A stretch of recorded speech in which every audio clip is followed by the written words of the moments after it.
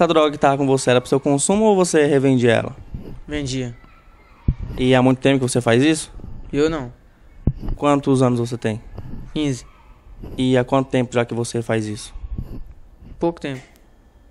E você acha que isso compensa você fazer isso? Não sei, primeira vez. Você já trabalhou? Como que é? Já. E você acha que esse mundo das drogas compensa mais do que você trabalhar? Não. E o que te levou a fazer isso? Falta de serviço.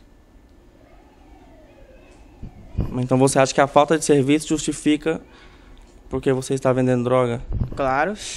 Vai perder de emprego não arruma, você vai fazer o quê? E você trabalhava em que antes? Falar não. Você estuda? Estudo. E agora sua mãe, como que fica sua família depois? Vou embora. Paraná. No meio do ano. Mas lá no Paraná você pretende continuar com essa vida ou pretende o quê? Lá meu tio arrumou um serviço pra mim lá. Eu vou conversar com o taxista que transportava esses dois menores de Ji-Paraná para Presidente Médici. E, seu Manuel, como foi para o senhor quando, no momento da abordagem? O que o senhor sentiu? Como foi? Rapaz, eu não senti nada, né? Não era comigo, eu não sou acostumado a esse tipo de coisas. Mas foi um susto, assim como foi? Correto.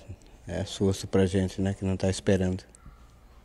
E como que esses menores chegaram falando que precisavam ir para Médici? Como que foi? Normalmente, eles chegam lá, como todos os passageiros, é de prática, né? Chega, é 10 reais cada um, cada um paga seus 10 e vem embora. Normalmente. E já tinha acontecido isso antes? Como assim, com eles? Não, com o senhor. De algum. É, é, meu trabalho é esse, entendeu?